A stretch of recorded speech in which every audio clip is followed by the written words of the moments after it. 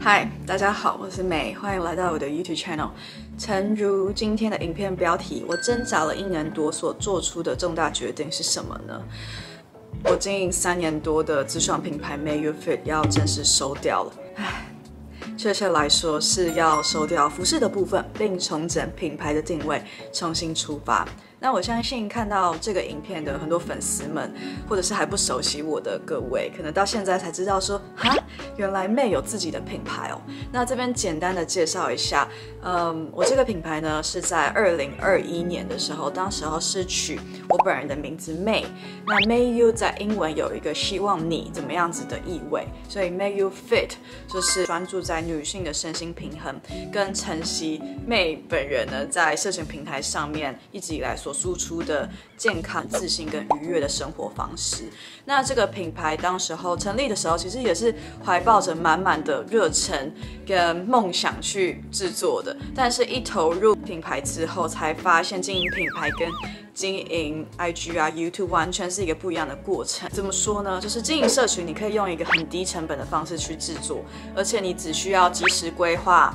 这一周、下一周，顶多是下一个月的社群内容，但是经营品牌完全是一个很不一样的 skill。我大概也能理解很多。创作者背后其实都有集团跟网红公司来操刀，因为制作一个商品本身就是一个很高难度，又需要花很多的资金跟人力所完成的一个过程。那相较而言 m a y o f i 是我亲手孵化的很精简的品牌，我们没有 PM 采购，没有设计师，所以当我们在规划呃衣服的款式的时候，买布选布，以及跟工厂的来回打样、试穿等等。耗时半年到一年才有最终大家所看到的成品，这也导致我们在推新品的速度比其他品牌慢非常多。原因就是因为我们并没有那么大的集团跟公司的资本来支撑。那我这边先讲一下，当时候为什么会想要做衣服呢？那这个故事呢，就要讲到我还在台大念书的时候，推出了一个还蛮轰动的女子训练短 T，而且是有台大授权的。那想到我那时候快毕业。的时候连一件 NTU 的衣服都没有，因为我觉得当时候学校出的款式没有很好看，然后也没有办法展露我健身苦练的好身材。对，那因为机会之下，福大织品系的学生他们来找我合作，要测试一款用废去鱼鳞回收制成的环保布料。那个时候我是和他们合作一堂运动课程，去测试这款布料的透气性。那那个布料呢，非常的成功，就是有让他们得奖。但是在他们毕业之后呢，这个布料就没有获得很好的利用，所以我就自自己去找厂商说，来帮我做一个很 fit 的。训练短 T，然后上面又呃放了几个我在社群很常用的 hashtag，比如说 fitness lifestyle 啊，什么 fitness addict，呃前面就放一个简单的 NTU。那因为这个版型呢，呃很简约又很酷帅，所以当时候我做了两百件这个训练短 T。那还蛮意外的就是这个训练短 T 在一周后就几乎售罄。那当时我就觉得还蛮激动的，就是我没有服装背景的人，凭着一股热忱，然后竟然也可以在很短的时间内销售出那么多的商品，对，所以这个大概就是我建立品牌，呃，跟想要做衣服的一个小小契机。那除了这款 Hashtag 短 T 之外呢，我们品牌后来也推出了一个还蛮人气的热销款，就是 The Future is Female，未来是女性的短 T。那当时我想要做这个短 T，就是因为这个长度刚好是。是可以遮住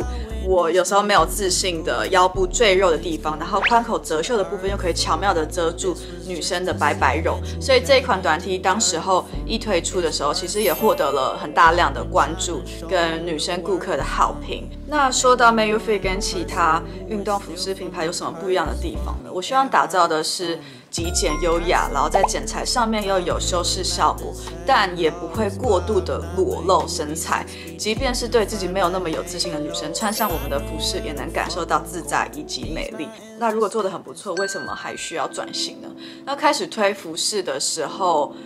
当时候，因为他有一个创作者的红利期，就是还没有太多的健身网红或者其他创作者出自己的服饰，所以对消费者来说很新鲜。但是这两年来，有相似的服饰品牌不断的推陈出新，社群演算法也变得很不一样，进而影响到我们品牌的销量。然后在成本方面，我们也没有像大公司、大集团。有很强的下单能力，我们没有办法压低进货成本，也没有额外供应商的资源，所以小量的下单在我们的成本上面其实是非常吃力的。对，所以其实根本的问题就是因为我们是走小量生产制，我们没有办法压低太多价格。那为了给大家能够负担的价格，我们大部分的品相都是压在千元以下，所以也没有多余的资金去做 marketing。因此，我我也觉得很万恶，因为有很多忠实粉丝们，他们很喜欢我们的运动服饰。但因为身兼数职的我，再加上我现在又来国外，没有没有办法赶上服饰的快时尚的特性。完整的考量之下呢，我们发现服饰的这一块。这一两年来都是亏钱的，所以才会做出这样子的决定。那现在来回应一下，砍掉服饰之后，我的自创品牌会有什么样子的转型呢？其实我对于后续的发展，我认为这个定位会变得更加的清晰，以及跟我过往在社群平台以来所输出的健康饮食跟运动风格的形象，会还蛮 align 的。因为我发现喜欢我的粉丝们，对我所分享的食谱啊、饮食 vlog 相关的知识，都表达高度的。兴趣，所以在我们之后的。呃，产品的项目我们会以我们自主开发的食品，以及我们严选台湾小农的食品，去打造出一个专注于健康、天然美食的食品品牌。那我认为这个会更加的去强化我自己的优势，在于说我深知消费者的痛点，因为我本身就投入健身饮食多年，我知道我的女性消费者，我们都很注重营养素，很注重美味的程度，以及我们希望这个产品不要有太过度的人工添加物，所以像我们跟乔拉合作的蛋白质燕麦卡兹，以及我们跟 Naked 所合作的黑可可米果蛋白棒，都有非常棒的销售表现。然后呃，近期呢，因为我一直都觉得台湾的小农食品品牌很棒，所以在去年的时候，我有拜访了一些农家，比如说我们跟陈家庄的米饼合作，稍微的转换了一下这些比较传统的。台湾农家的包装更换一个比较可爱跟时尚的风格，意外的获得我们女性消费者的好评。那其实重整品牌的定位跟忍痛切割掉没有在赚钱，跟呃，我觉得我自己本身也没有到太大热忱的项目之后，我更能清楚。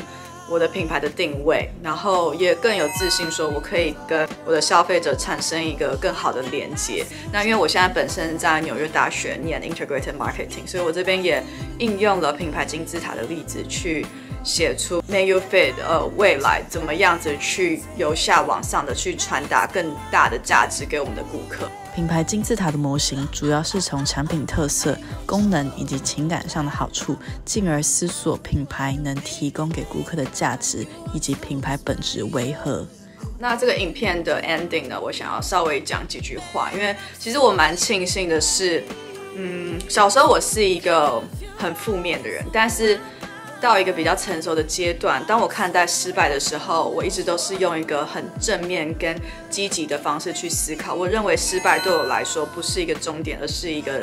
挑战，可以去激发我更大的心智，跟让我去了解到说这些弯路或者是这些走过的错误的路，其实都会引导到。我想要去前往的方向，因为创业的过程本身就是蜿蜒曲折的，你走过的每一段路都可以让你慢慢的去探索出属于自己的正确路途。虽然这个决定有一点万恶，然后或许有一些粉丝们也觉得有点可惜，毕竟曾经做服饰也是我的梦想之一。然而为了刺激销量，只好不断快速的推出服饰，也背离了我的初衷。所以这是考量到种种之后所做出的决定。希望你们能理解。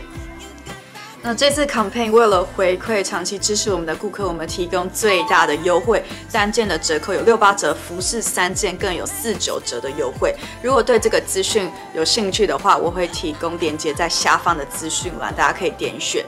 然后最后想要讲的就是，真的很谢谢各位长期以来的支持。那我相信在重整品牌之后，以及人力的资源运用上，我可以更更聚焦在健康食品的推陈出新，去努力达到一个清晰以及更符合消费者期待的食品，持续的造福喜欢我们的粉丝。那谢谢大家的支持，我们下次再见，拜拜。